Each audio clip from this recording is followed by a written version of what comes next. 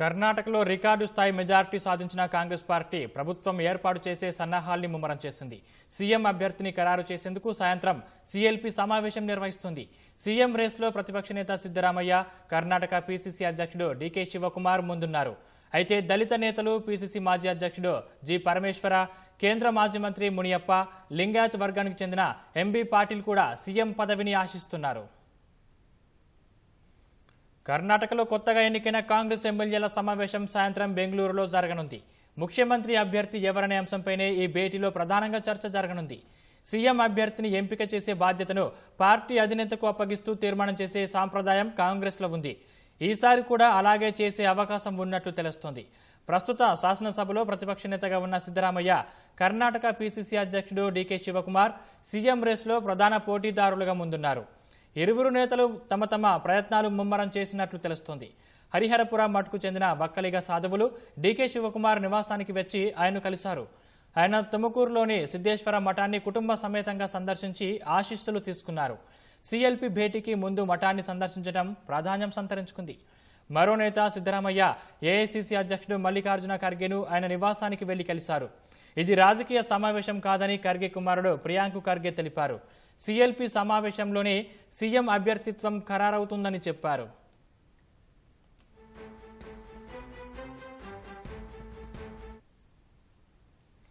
Karnataka CLP సమావేశం నేపథ్యంలో కాంగ్రెస్ అధిష్టానం ముగ్గురు పరిశీలకుల్ని నియమించింది. మహారాష్ట్ర మాజీ సీఎం సుశీల్ కుమార్ షిండే ఏఐసీసీ ప్రధాన కార్యదర్శి జితేంద్ర సింగ్ ఏఐసిసి మాజీ ప్రధాన కార్యదర్శి దీపక్ బబారియా కర్ణాటక సీఎల్పీ భేటీకి పరిశీలకులుగా హాజరు కానున్నారు. ఎమ్మెల్యేల అభిప్రాయాలతో కూడిన నివేదికను అధిష్టానానికి నివేదించనున్నారు. ఈ మేరకు ఏఐసిసి ప్రధాన కార్యదర్శి కేసి వేణుగోపాల్ ట్వీట్ చేశారు.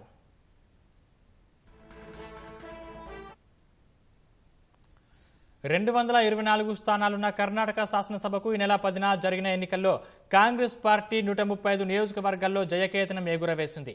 భారతీయ జనతా పార్టీకి అరవై ఆరు సీట్లు మాజీ ప్రధాని దేవేగౌడ సారథ్యంలోని జేడీఎస్ పంతొమ్మిది స్థానాలు గెలుపొందాయి.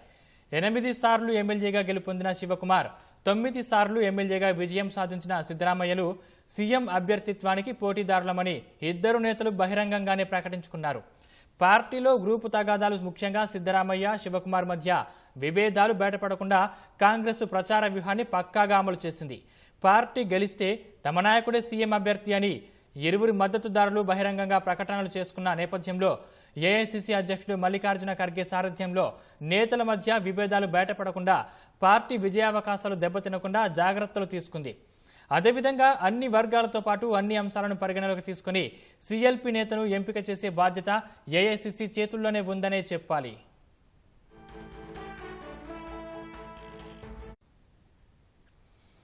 ఇప్పటికే సిద్దరామయ్య డీకే శివకుమార్ నివాసాల ముందు పెద్ద పెద్ద ఫ్లెక్సీలు వెలిశాయి.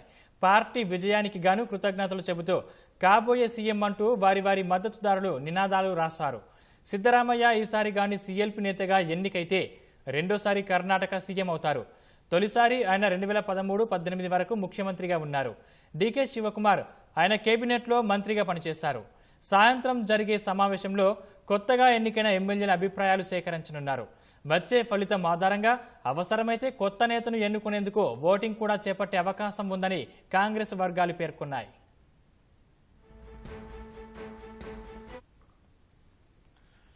కర్ణాటకలో లింగాయతులు ప్రాబల్యం ఎక్కువగా ఉండడం ఉండగా తర్వాత స్థానంలో వక్కలిగలు ఉన్నారు. ఆ వర్గానికి చెందిన డీకే శివకుమార్ సీఎం పదవికి తాను పోటీదారునని బహిరంగంగానే పలు సందర్భాల్లో చెప్పుకున్నారు. ఎన్నికల ప్రచారంలోనూ ఆ విషయాన్ని ప్రధానంగా ప్రస్తావించారు. తాను కేపీసీసీ అధ్యక్షుడిగా ఉన్నందున వక్కలిగకు చెందిన వ్యక్తి సీఎం అయ్యే అవకాశాన్ని కోల్పోవద్దని డీకే శివకుమార్ తమ సామాజిక వర్గాన్ని కోరారు.